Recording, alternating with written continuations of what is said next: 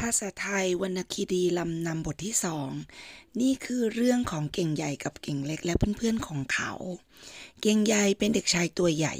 เก่งเล็กเป็นเด็กชายตัวเล็กทั้งสองชอบเล่นสนุกกับเพื่อนๆ เก่งใหญ่ชอบเล่นไล่กะล่า เก่งเล็กชอบเล่นซ่อนหา เก่งใหญ่คิดว่าเขาเก่งกว่าจึงไม่อยากคบหากับเก่งเล็ก เก่งใหญ่อยากเป็นผู้ยิ่งใหญ่ อยากมีเพื่อนมากเวลาจะทำสิ่งใดก็อยากให้ใครๆมาช่วยทำ เก่งเล็กอยากเป็นเพื่อนกับเก่งใหญ่ แต่ต้องเสียใจเพราะเก่งใหญ่ไม่ชอบเก่งเล็ก เก่งใหญ่บอกว่า ฉันเป็นคนตัวใหญ่ฉันไม่อยากเป็นเพื่อนกับคนตัวเล็ก เธอชอบเล่นแบบเด็ก ๆ แต่ฉันชอบเล่นแบบผู้ใหญ่ เก่งเล็กนั่งร้องไห้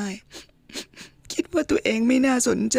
เก่งใหญ่จึงไม่อยากเป็นเพื่อน คุณครูใจดีเดินผ่านมาเห็นเก่งเล็กจึงถามว่าทำไมไม่ไปเล่นกับเพื่อนเก่งเล็กบอกว่าผมเป็นคนตัวเล็กไม่มีค่า ไม่มีใครอยากคบหาเป็นเพื่อนครับ คุณครูใจดีเรียกเด็ก ๆ มารวมกันที่ใต้ต้นไม้ใบหนา และบอกว่าครูจะเล่านิทานให้ฟัง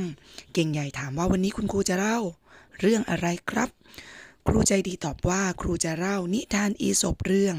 ราชสีกับหนู เด็กๆวิ่งครูกันมานั่งล้อมหน้าล้อมหลัง ตั้งใจขอให้ฟังนิทานจากคุณครู ราชสีกับหนู ราชสีตัวหนึ่งนอนหลับอยู่ใต้ต้นไม้ ในเวลานั้นหนูตัวหนึ่งขึ้นไต่ข้ามตัวราชสี ราชสีรู้สึกตัวขึ้น ตื่นขึ้นกระโดดตะครุบเอาหนูตัวนั้นไว้ได้ ราชสีนึกโกรธ จะขย้ำหนูตัวนั้นเสีย หนูจึงร้องวิงวอนว่า ข้าพเจ้าขอชีวิตไว้สักครั้งหนึ่งเถิด อย่าเพ้อฆ่าข้าพเจ้าเสียเลย ถ้าท่านปล่อยข้าไปข้าพเจ้าจะมิลืมคุณของท่านเลย ราชสีหัวรอฮ่าฮ่าฮ่าฮ่าฮ่าแล้วว่า ตัวเองเล็กนิดเดียวเท่านี้ เองจะมาตอบแทนคุณเราได้อย่างไรว่าแล้วก็ปล่อยหนูไป อยู่มามิช้ามินานราชสีตัวนั้นไปติดบ่วงแล้ว ที่นายพรานเขาดักไว้ จะดิ้นรนเท่าไรก็ไม่หลุดราชสีสิ้นปัญญาจะร้องครวญครางก้องไปทั้งป่าฝ่ายนูตัวนั้นได้ยินเสียงราชสีร้องจำได้ จึงวิ่งมาปีนขึ้นไปบนคันเร็ว เอาฟันแทะเชือกขาด ให้ราชสีห์หลุดรอดพ้นจากความตายไปได้หนูจึงร้องไปแก่ราชสีว่า แต่เดิมท่านก็หัวราะเยาะข้าพเจ้าว่าเองตัวเล็กเพียงเท่านี้ จะแทนคุณท่านอย่างไร ได้มาบัดนี้ข้าพเจ้าได้แทนคุณของท่านซึ่งเป็นสัตว์ใหญ่ และมีกำลังมากให้ประจักษ์แก่ตา ท่านเองแล้วอยู่แล้ว คุณครูใจดีเล่านิทานจบแล้วเด็กๆ ยังไม่ลุกไปไหน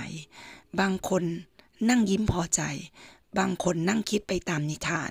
คุณครูใจดีอธิบายเพิ่มเติมว่านิทานเรื่องราชสีกับหนู มาจากนิทานของอีสปอีสปเป็นนั่งนักเล่านิทานผู้ยิ่งใหญ่ นิทานของอีสปมี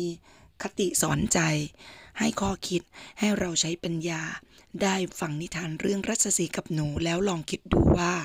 เธอได้ข้อคิดอะไร เด็กๆช่วยกันคิด ช่วยกันใช้ปัญญา เก่งเล็ก ก็คิด เก่งใหญ่ก็คิด ทุกคนต่างคิด เก่งใหญ่หันมาสะกิดบอกเก่งเล็กว่า ฉันคิดได้แล้ว เก่งเล็กถามเก่งใหญ่ว่า เธอคิดอะไร เก่งใหญ่พูดว่า เรามาเป็นเพื่อนกันดีไหม เก่งเล็กยิ้มดีใจ เก่งใหญ่ยอมเป็นเพื่อนกับเขาแล้ว คุณครูใจดียิ้มชอบใจ ถามเด็กๆว่า เธอรู้ไหมว่าเก่งใหญ่คิดอะไรได้แล้ว และน้องๆล่ะคะ รู้ไหมคะว่า เก่งใหญ่คิดอะไรได้